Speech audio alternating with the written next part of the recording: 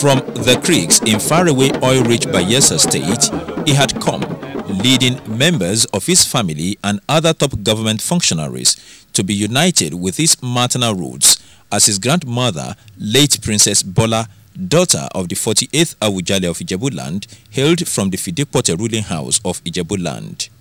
It was indeed a true homecoming experience for Governor Henry Seriake Dickson as he arrived into the waiting arms of Awujale in council with the paramount ruler himself, Oba Dr. Sikiru Kayode Adetona, more than eager to have both the governor and other descendants on his entourage in their midst. Feeling truly wanted by his maternal people, Governor Dickson confessed he had been longing to connect with his maternal roots the Fidipote ruling house in particular, where his grandmother hailed from and spent her early days. I and other members who stood up are the descendants of that princess.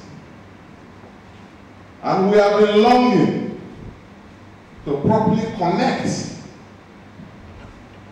with her kith and kin. And who will not want to be associated, who will not want to identify as a descendant of such an illustrious family, such an illustrious land as the Ijebuland.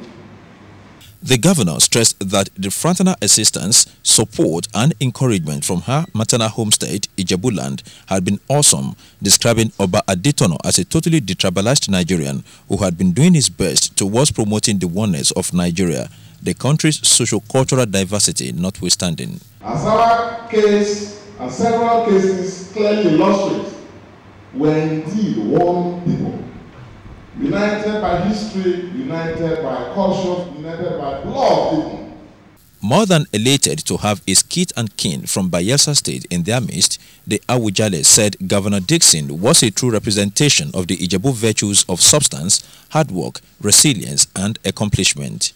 We shall congratulate you for success in all your endeavors.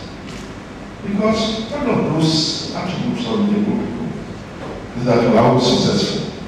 Also on hand to accord the Bayelsa governor and his entourage a befitting welcome was the Council of Otumbas of Ijebuland, with one of them who facilitated the visit, providing an insight into what the whole exercise represented. There is no ethnic diversity.